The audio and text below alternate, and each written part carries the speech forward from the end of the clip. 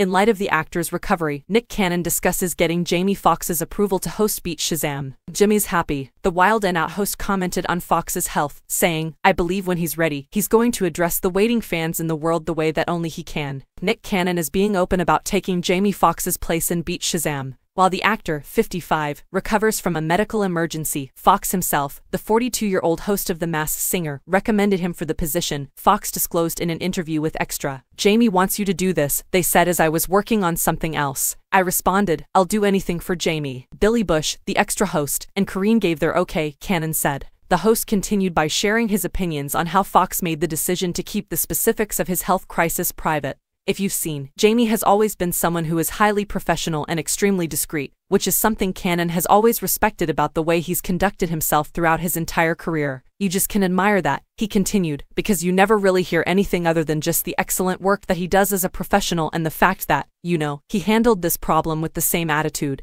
Cannon responded, I'm probably in the same boat as you, when Bush asked if he could provide an update on how the Spider-Man, no Way Home actor was doing. Bush said they understood the actor had a stroke and that he's recovering. He said, the information that is available is the information that they want to be available. I was definitely one of those initial people with like the heavy-handed prayers, sending positive energy, love, and prayers, he continued. Yo, we appreciate all of that, but we got it, they responded. And, as you may know, Jamie is pleased with the work I made on Beat Shazam. I think when he's ready, he'll address the eager fans around the world in the way that only he can, the man continued. Fox said last month that the Wild 'N Out would serve as the show's temporary hosts, and that Kelly Osbourne would take over Corinne's DJ duties as she assisted her father with his recuperation. Nick's willingness to step in and assist this summer is tremendously appreciated, according to a statement from Fox Entertainment.